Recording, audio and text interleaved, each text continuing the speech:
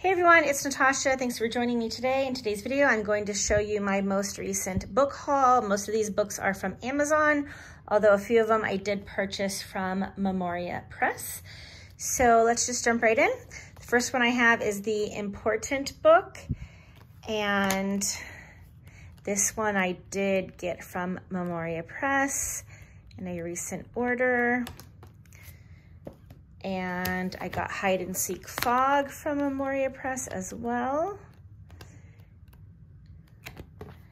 And Follow the Dream, the story of Christopher Columbus. This is a hardback.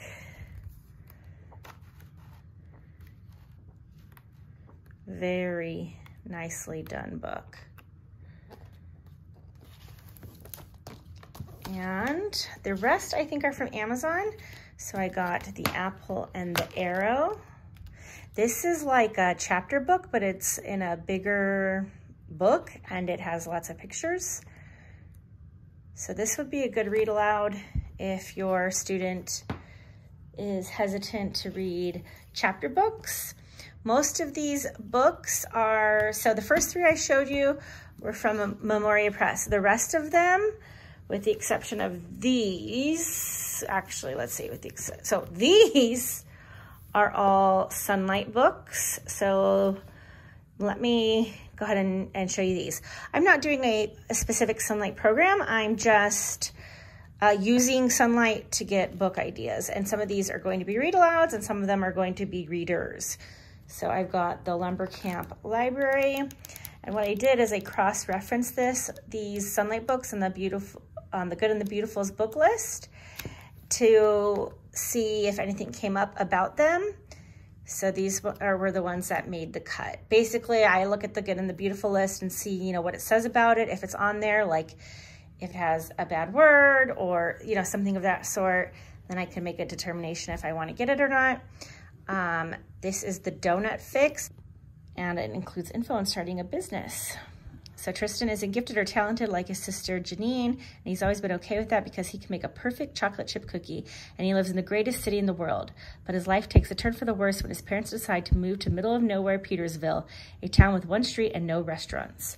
His suspicions about his new town are confirmed when he's tricked into believing the local general store has life-changing chocolate cream donuts, when in fact the owner hasn't made them in years. And so begins the only thing that can make life in Petersville worth living, getting the recipe, making the donuts, and bringing them back to the town through his very own donut stand. But Tristan will soon discover that when starting a business, it helps to be both gifted and talented, and it's possible he's bitten off more than he can chew. A heartwarming read that recognizes the growing amount of child foodies. So I just thought this book looked really good. Then we've got uh, Mr. McBroom, or McBroom's Wonderful One Acre Farm. This is a short little book. I don't remember what grade this was for. I think it might have been in their grade three readers.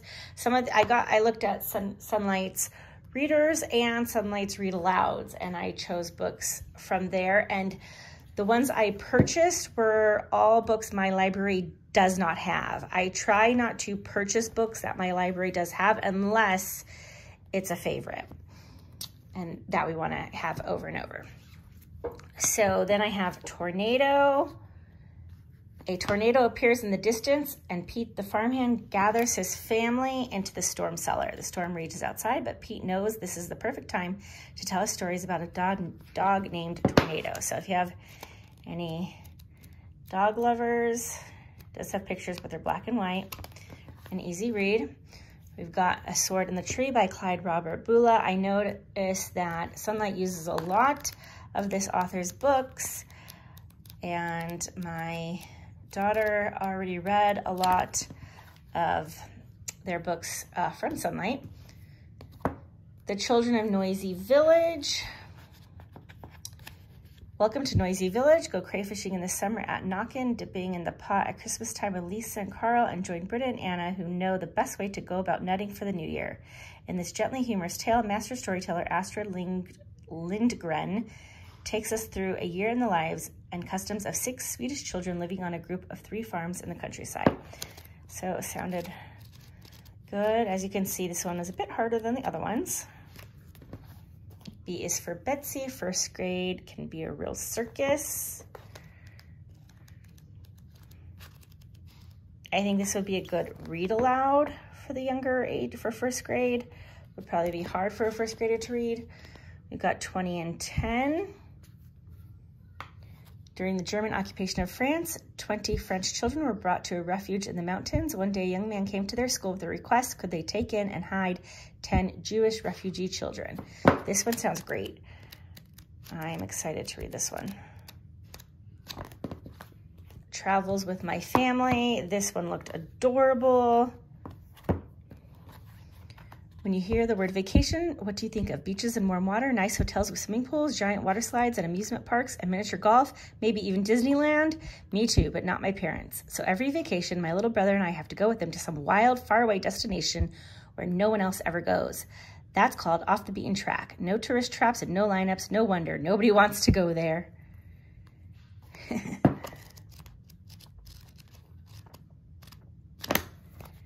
And I got 26 Fairmount Avenue.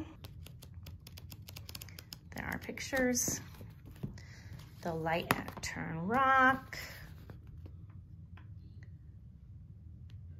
Will Ronnie have to spend Christmas stranded in a lighthouse?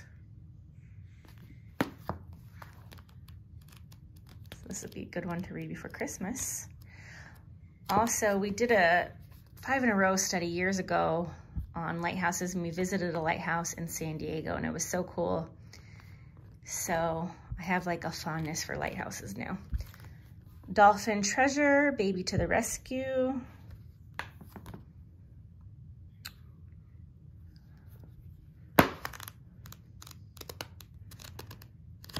Nice easy read. Betsy and Tacy go over the big hill. Betsy, Tacy, and Tib can't wait to be 10. After all, getting two numbers in your age is the beginning of growing up. Exciting things are bound to happen, and they do. The girls fall in love with the King of Spain, perform in the school entertainment, and for the first time go all the way over the big hill to Little Syria by themselves. There, Betsy, Tacy, and Tib make new friends and learn a thing or two.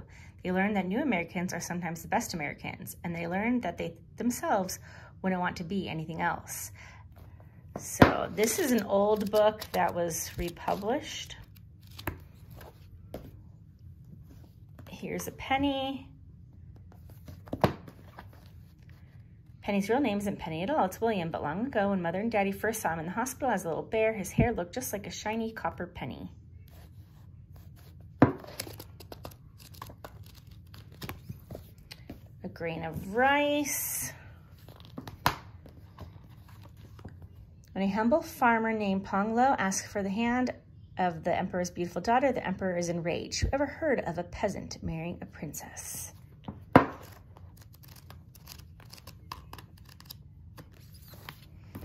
This one I've chosen as a read aloud, all of the above. This one looks fantastic.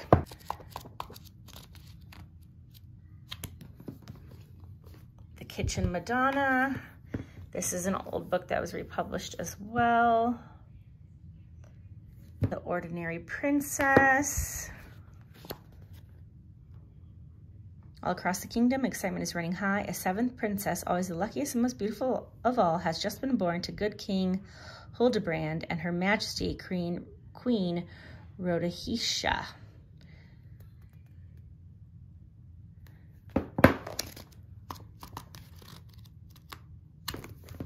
Okay, then I got a couple books that are on the Mensa Excellence in Reading list, in the K to 3 list, and these three books my library does not have, so in order for my daughter to finish the list, uh, we needed these three books. So, and there's actually one more, but Amazon sold out of that one too. So my library doesn't have it, Amazon doesn't have it, so I have to look for that one used, I guess. But this one is The Quilt Maker's Gift.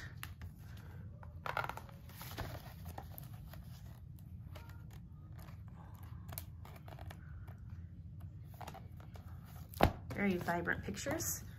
How the leopard got his claws.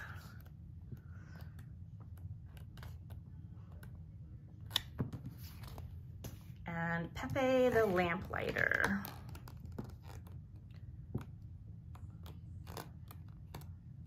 Those all look really good. Then I got these two books. Well, this is a Sonlight book also, but this one is not, but I have kind of a hot air balloon theme going on in my classroom. So I got these, um, let's see, on one September evening, Gregory releases a secret message into the sky, hoping someone somewhere will find it. Someone does, far away, and an unusual, exciting friendship is born I think I'm going to make this our first read aloud of the year. And then we've got the Noon Balloon. This is the same author as The Important Book. And this is very, very pretty. And then I had mentioned I don't typically get books my library has unless they are favorites. And I did pick up the Ada Twist Questioneers picture book collection because my daughter just absolutely loves Ada Twist and so do I, to be honest. I think it is like the best show and I love Ada Twist. I love Iggy Peck. Um, I love Rosie Revere. I love them all and they're so cute and it's such a good show and I highly recommend it. Um, so we've got Sofia Valdez, Future Prez. Um, actually, my daughter doesn't know about her because she's not in the show. So we have not read this one, but that will be great, especially, especially around President's Day. That'll be fun to add in. We've got Iggy Peck, Architect. Iggy is just so adorable in the show. And we've got Rosie Revere, Engineer. And Rosie reminds me of my daughter um, how she looks and how she acts, and she's always creating, and she just totally reminds me of my daughter. And Ada Twist Scientist. And again, I highly, highly recommend the show and and the books, but they are fabulous. The show is amazing for teaching science to kids and um, You'll never forget what a hypothesis is. You'll never forget the scientific method and all of that. So anyway, got that whole collection in this nice box because um, we had checked out some of these from the library, but my daughter just loves Ada Twist so much. So we got, we just, I went ahead and, and bought them. This is was pretty expensive, but um, worth it. These are such nice books and um, I just, I love them. They're so cute. Okay, so I think that is all the books that I got recently. Um, thank you so much for watching. Give this video a thumbs up and subscribe if you love all things education.